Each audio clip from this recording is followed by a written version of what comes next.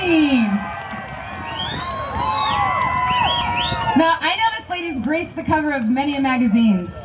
Who are you and where are you from? My name's Kandy and I'm from England, Birmingham, England.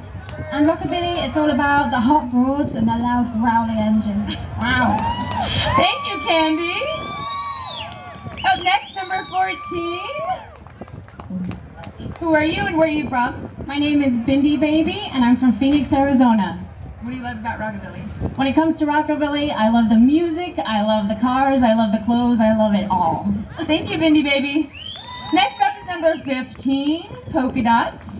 What's your name and where are you from, doll? My name is Chantel Siobhan, I'm here from Lake Havasu.